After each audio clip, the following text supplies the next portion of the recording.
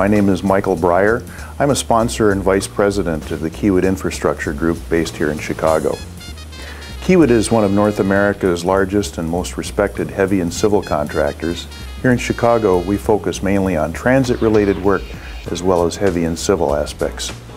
Right now we're in the final stages of the Dan Ryan Red Line track renewal project for the Chicago Transit Authority. This was an extraordinarily challenging project that happened primarily in 2013. In addition to that project in its completion stages, we also have stations work for the Chicago Transit Authority, we have track and tie upgrades, and we have a significant tunnel job for the U.S. Army Corps of Engineers at McCook. Our talented team is very highly motivated and is representative of multiple construction skills. That offers us a special diversity in the marketplace. The Kiewit team has always maintained a very healthy relationship with HACIA and their membership.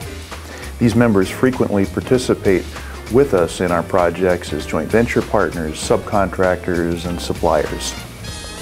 Kiewit takes pride in the fact that we've participated with HACIA in many outreach events and offered ourselves as a resource for training of the membership.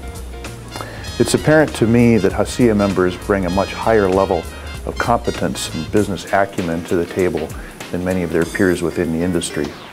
This has been a win-win relationship for Kiewit and HACIA, and we look forward to perpetuating it.